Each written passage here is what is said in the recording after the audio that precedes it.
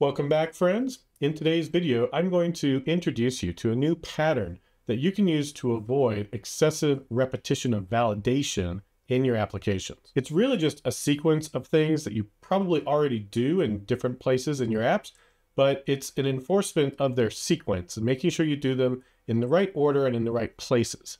So let's get started. In my last video, I talked about this concept of parse, don't validate. And there's an article here on DevIQ where you can learn more. And also I have a link down here at the bottom to the original article, which I talked about last video from Alexis King with the same title. So if you have a chance, you want to learn more about parse, don't validate, I encourage you to watch my previous video, check out these resources, and, and see what they have to say about this. We're going to basically build on that principle in today's video. So the pattern that I want you to follow and remember is validate, parse, guard.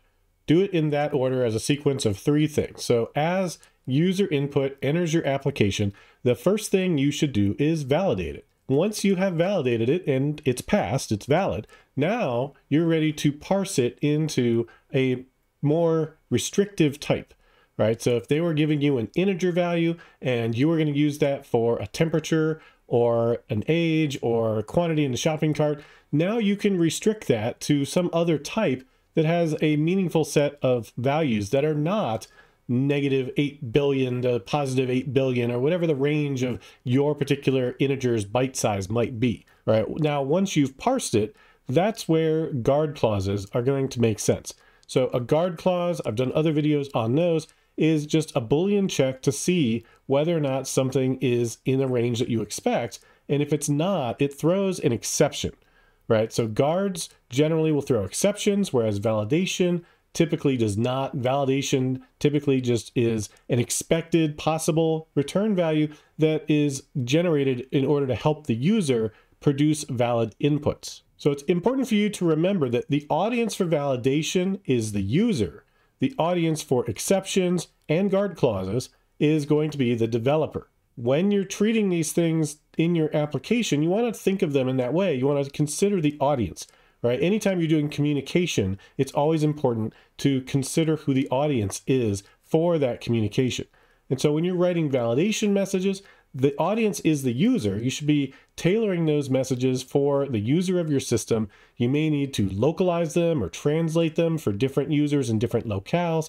All of that stuff is very much appropriate to the user and the user experience. However, when you're throwing exceptions and you're using guard clauses to basically stop the execution of the program and say, hey, we got into an invalid state that should never happen, right? Your audience there is the developer, possibly the ops team that might be seeing the log files, but they're just going to pass that on to the developer who then needs to fix the issue.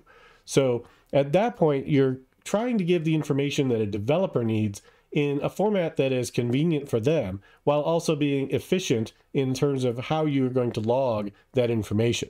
So two very different audiences. All right, so before we get into the code and I show you this pattern in action, I want to mention that we do still have a short time left when you can get the Nimble Pros Academy ASP.NET Identity in Action course for a really steep discount.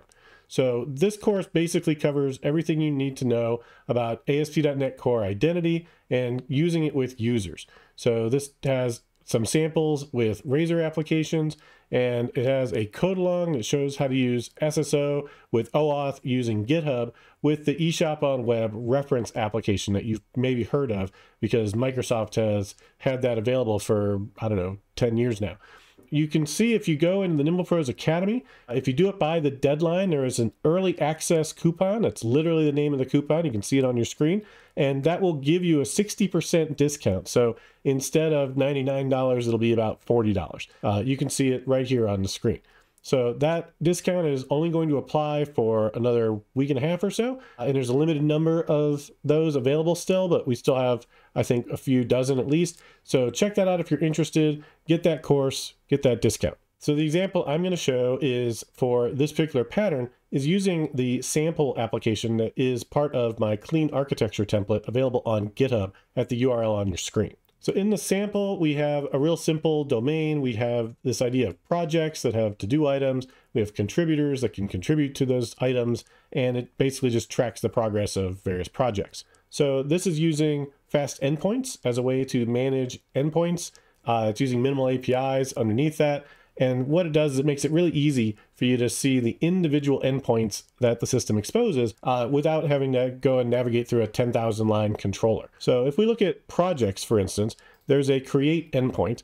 And inside of the create endpoint, what you can see is there's a handle async method that does the work when somebody hits that endpoint. All that's going to do is create a project command and send it off to MediatR so that we can go through our pipeline of behaviors that we want to apply to all of the commands in our system. Then, assuming it's a success, we'll return a new create project response. Otherwise, we'll send whatever response came back from the resulting type that, that was returned. Right, this var is actually an ardalis.result of t, which is a wrapper that will allow me to get back the success value if it was successful, but also things like forbidden or invalid or not found uh, in the case where it wasn't successful. Now, all of these mediator handlers are located inside of another project called use cases. And so the create command for create project is in there as well as its handler.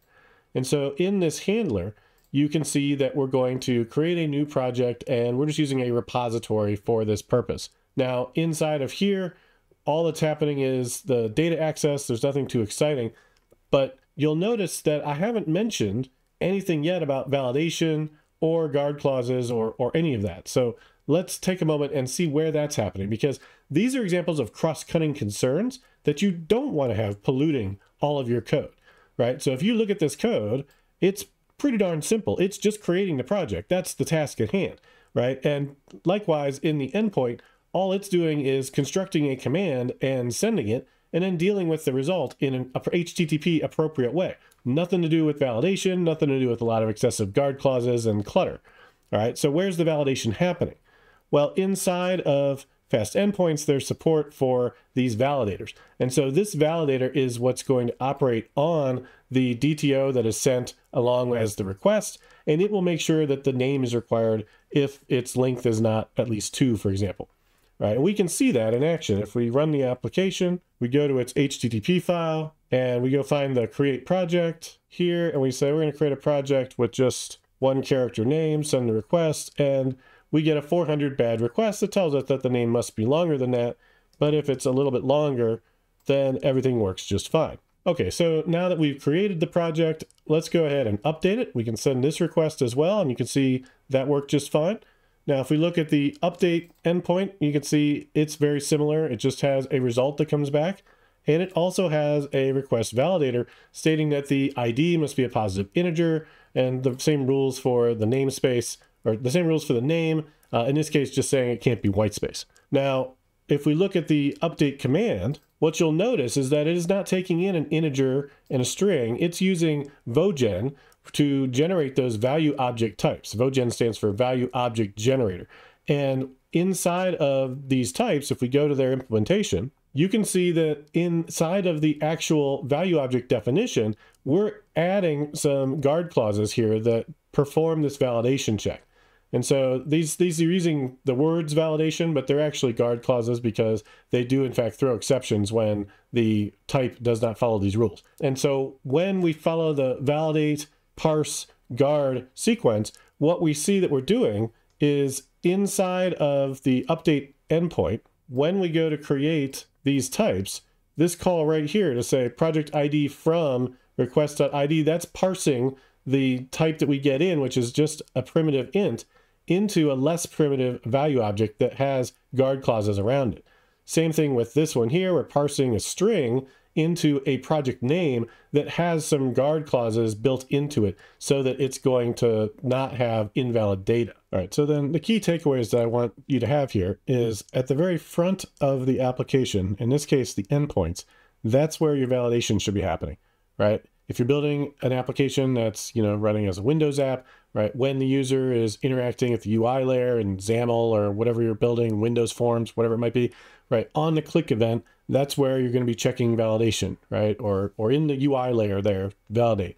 But then if you've got a separate project, separate library where you're doing your business rules, maybe you've got, you know, some domain driven design entities that are in play, right? Those aren't going to be doing validation. They're going to hopefully be using value objects like the ones I showed you, uh, or they're going to be doing guard clauses themselves to ensure that they remain in a valid state, right? You want to ensure that your software design does not represent invalid states, right? If you have you know the use of strong types, you can make it so that your system can't represent invalid states, which means you don't have to validate for those states, right? It's completely unnecessary. So use the type system for what it's intended for. Restrict the ranges of things that various uh, values and inputs and whatnot can possibly have, and do that as soon as possible after user input enters your system.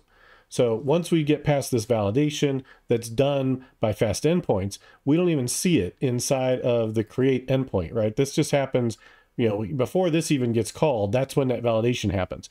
When I get to this line, that validation has already occurred. So it's it's kind of you know magic that's happening inside the pipeline that Fast Endpoints is providing for me. Once I'm inside of my application, right? And this is a clean architecture template, but you know you can use vertical slices, you can use whatever architecture you want. Once I'm inside, I've got use cases, right? These are using my my more rigorous types, my value objects. When I get all the way up into my core, my domain model, right now I've got a project aggregate, and it has you know all the things that describe the project, you know, everything in here should be using those better types, right? So the name is, is of type project name. The ID is of type project ID. So it's not just an int or a GUID.